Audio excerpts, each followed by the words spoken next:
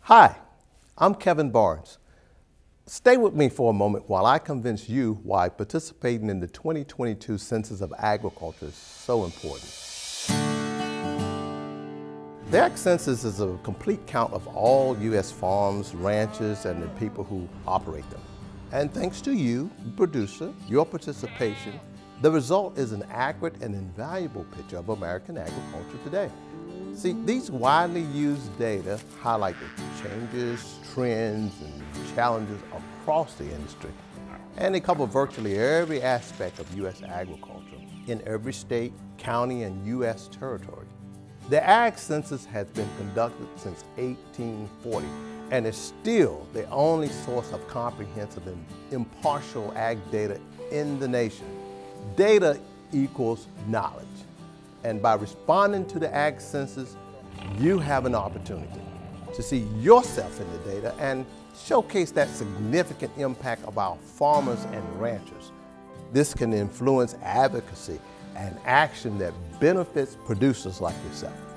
Ag Census data are also used to help decision makers, policymakers, agribusinesses, and many others to be strategic when they're determining where to invest resources and where to supply critical services like disaster relief, expansion of broadband, and technology development.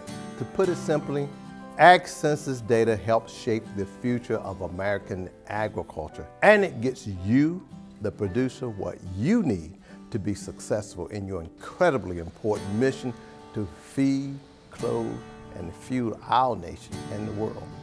But does my operation and my response really matter, you might ask? Listen, every voice matters to ensure the most accurate data. No producer should go unnoticed or underserved. And that begins with your response.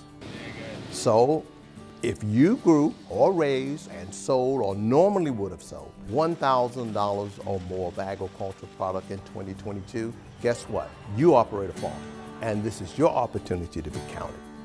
I know the questionnaire looks long, but the good news is you only answer what pertains to you and your operation.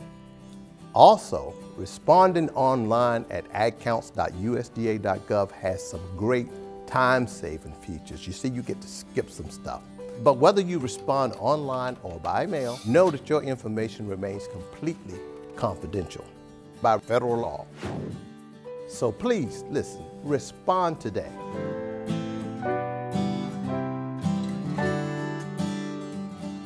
Hmm, you know, I love growing up on that farm. I was a cute kid. We should use that photo.